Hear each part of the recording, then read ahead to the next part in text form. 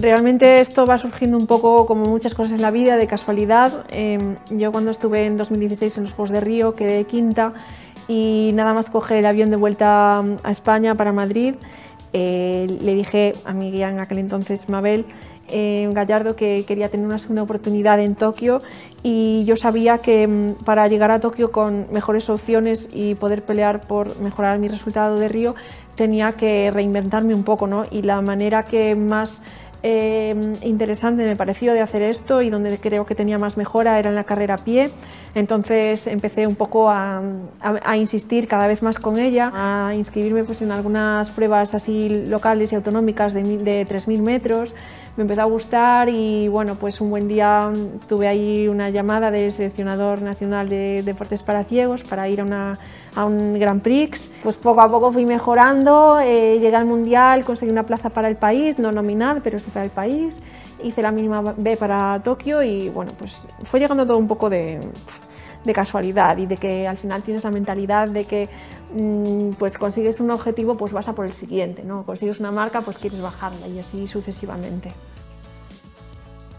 Está claro que cuando vas a unos juegos el objetivo es ganar. Yo creo que quien diga lo contrario pues mm, se está autoengañando.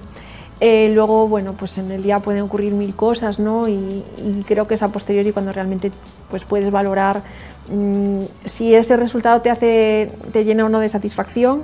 Eh, para mí, eh, lo que estoy segura que me llenaría de satisfacción es que ese día, el 28 de agosto, eh, Susana Rodríguez Gacio pues sea, mm, muestre su mejor cara como triatleta, hacer allí mi mejor carrera y creo que con eso pues podré estar tranquila.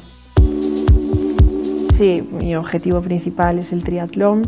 Es la prueba que voy a disputar antes, es el 28 de agosto y la semifinal del 1500 es el día 29. Siempre afronto cada carrera para en ese momento mm, mostrar y sacar lo, mejor que tenga de mí en ese momento, ¿no? Pero bueno, está claro que mm, disputando el día antes del triatlón va a ser mi 100% de lo que yo tenga ese día, está claro. Y si finalmente, que es muy probable, tengo la oportunidad de estar allí en el 1500, eh, yo voy a salir con todo. Y quien quiera pasar a la final, mm, no sé si yo seré una de ellas o no, pero quien quiera pasar va a tener que correr porque yo voy a salir en disposición de, de luchar y, ponerme delante. Eso mm, está así. Ahora mismo este año he decidido em, dedicarme exclusivamente a preparar los juegos porque llevaba muchos años pues con una rutina mm, bastante exigente. Yo no lo pensaba día a día, pero sí que es verdad que ahora que lo veo en la distancia, eh, bueno, entiendo que, era bastante, que era bastante duro. Desde Río hasta que acabe la especialidad en, en el mes de septiembre de 2020 eh, bueno, yo eh, por las mañanas me desplazaba a Santiago, casi siempre con un compañero en coche o a veces en el tren. Pues me levantaba sobre las seis y media y mm, trabajábamos de 8 a 3 en el hospital, llegaba a casa sobre las cuatro y media, entre medias pues comía casi siempre de, de tupper ¿no? que, que llevaba preparados y, desde la a la tarde pues sobre las cinco y media empezaba a entrenar y así encadenaba las sesiones hasta que acababa y bueno, me acostaba bastante tarde y, y, así pues todos los días, ¿no? Y está claro que mm, a mí no me costaba levantarme por la mañana porque mm, tanto lo que hacía en el trabajo como luego entrenando, pues lo disfrutaba, me, me gusta y mm, cuando algo te gusta pues no supone un, un esfuerzo, o sea, esfuerzo sí, pero tirar para adelante y siempre de buena gana ¿no? y con una sonrisa. Pero bueno, ahora mismo al estar solo entrenando eh, puedo descansar bastante más y sí que lo noto a la hora de ir asimilando los entrenamientos. Va a ser muy distinto a lo que vimos en Río y va a ser muy distinto a lo que, a lo que esperábamos de Japón, ¿no? porque todos estábamos muy pendientes de, de qué iba a hacer Japón para los Juegos, porque es un país pues, que yo creo que a nivel de, de organización eh, si hay una nación idónea para celebrar unos juegos tan difíciles de celebrar, creo que es Japón. Y, bueno, es un momento histórico. Al final, pues los deportistas que estemos allí, pues también vamos a pasar a la, historia por haber ido a estos juegos tan extraños y mm, sin despistarnos de nuestros objetivos que, no cambian a pesar de, que no vaya a haber público o de que vaya a haber todas las restricciones que haya. La ilusión y, y los objetivos pues son los mismos y Creo que aunque sea distinto, los juegos van a seguir siendo mágicos y es un privilegio poder estar en ellos. Sí, fue un año pues bastante exigente en todos los sentidos porque bueno, pues tuvimos que adaptarnos mucho a lidiar con la incertidumbre, sobre todo al principio que se conocía mucho menos que ahora, muchas menos cosas que ahora, de, tanto de la prevención como de cómo tratar la, la, enfermedad. Y bueno, fue muy difícil, ¿no? Porque había días que cada mañana pues los datos eran peores que el día anterior. No se puede explicar quizás con palabras eh, lo que lo que vivimos en esas semanas, sobre todo entre marzo y, mayo-junio.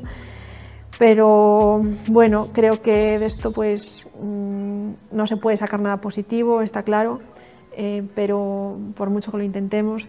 Eh, pero bueno, yo me quiero quedar con que es una situación que creo que nos ha hecho conscientes a todos de que la salud es lo más importante que sin ella pues el resto de las cosas al final pasan a un segundo plano. Pues también deportivamente todo cambió. Bueno, es que no sé, es un poco difícil explicar eh, todo lo que pasó. Todo lo que pasó. Mi primer recuerdo de los Juegos Olímpicos o Paralímpicos eh, son los Juegos de Barcelona 92. Yo cuando venía del colegio veía los dibujos de Kovic y siempre quería llegar lo antes posible de la parada del autobús para ver los dibujos de Kovic. Em, recuerdo eso, después recuerdo de Atlanta la inauguración, que, que, me costó un montón convencer a mis padres para que me dejaran quedarme para la hora en la que era por el cambio horario. Y de cuando yo estuve en los Juegos, pues cosas que me hayan recordado, que me recuerde con especial cariño, pues cuando me llegó la ropa, em, cuando llegamos a la villa, y cuando en la inauguración entramos en el estadio, porque yo no veía nada, pero el sonido era espectacular, va, es que es, es pura magia.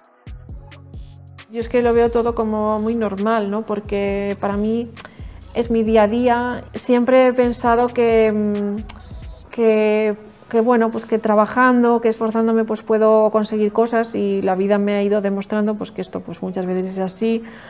Lo mismo en el deporte, ¿no? Entonces yo cada día pues me levanto para hacer mis cosas, que las hago pues, pues eso, pues con ilusión y las disfruto un montón y yo no me paro a pensar si eso es superación o lo que se le quiera llamar, ¿no? Para mí es mi día a día. Me hace ilusión ver pues cuando alguien, pues un niño o alguien que ha empezado a hacer deporte, pues me dice que conocer mi historia le ha servido de, de fuente de inspiración y si es así, pues pues mira, un motivo más ¿no? para seguir haciendo cosas. Pero bueno, yo no lo veo como nada pues especial. Tengo dos guías de competición internacional, eh, Sara Loer, que es mi guía en triatlón, y César Comesaña, que es mi guía en atletismo.